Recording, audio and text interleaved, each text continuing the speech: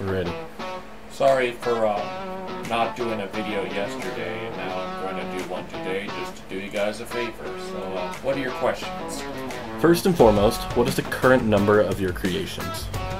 15,000 plus that are accounted for as compared to the infinite number. Of course. What do you think is your greatest achievement so far? My greatest achievement so far, uh, probably uh, getting help from Adam for my most successful video to date, which is now, last I checked, 420 views. Congrats. What's something you would really like to improve about yourself? I just really hope that I can pitch my creations to, uh, in this case, a comic book company, because I really need my creations to be everlasting in some ways.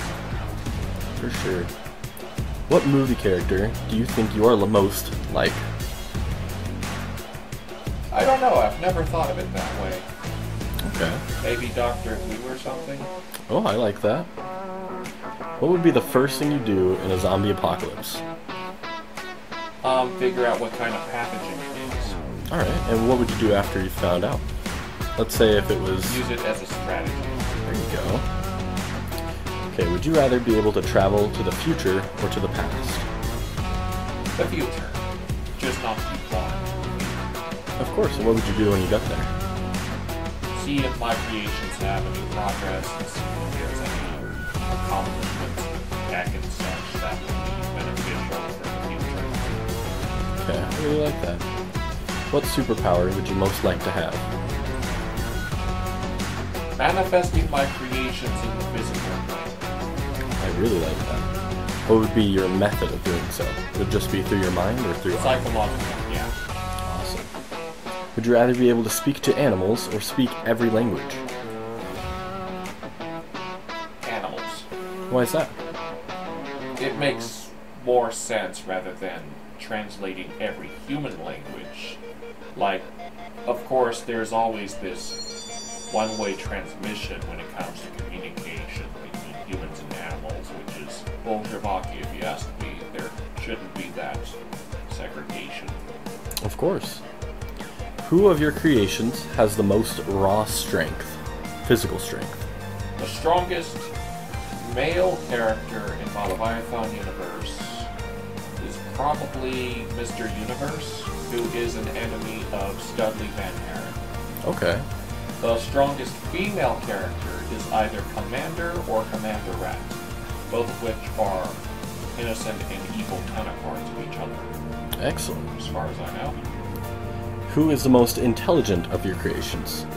One of the most intelligent is Neuron, five brains and five pluses, but there's also Madame Doe, Dr. Brain, there's Overmind, and a few others that I can't name at the top of my head as far as I know.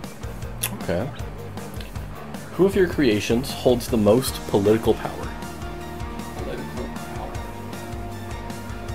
I don't know. I've never thought about that factor. Um, it depends, like which variation of politics are you referring to? Let's say uh, similar to like the presidential power. Huh. Lovely Liz is the President of the United States for the default curve. X-Ray is the President of the United States for the alpha curve, Okay. as far as I know. Okay. And uh, which of your char- characters has the most like dimensional power? Perhaps Cosmic and her innocent counterpart, New Cosmic. They have full access to the infinite realities, Excellent. making both of them more powerful than the alpha gods combined. Okay. Which of your creations would you consider to be the most successful warrior? I, um. Beatdown is one of the most successful in combat. Victory is one of the most devastating in terms of her supposedly infinite strength. You know, like Victory's so powerful that she's practically dependent on her enemy Beatdown in order to uh, avoid feeling too overwhelming because, you know, too much of a good thing can be seen as bad. Of course, yeah. Well, cool. That's all the questions I have for you today. Is there anything you'd like to say to the audience? I apologize, second mention, for not doing it yesterday, and I hope this video is a form of satisfaction for you guys, you know? I just hope that it's worth the wait for you. For sure. Okay. Well, thank you so much.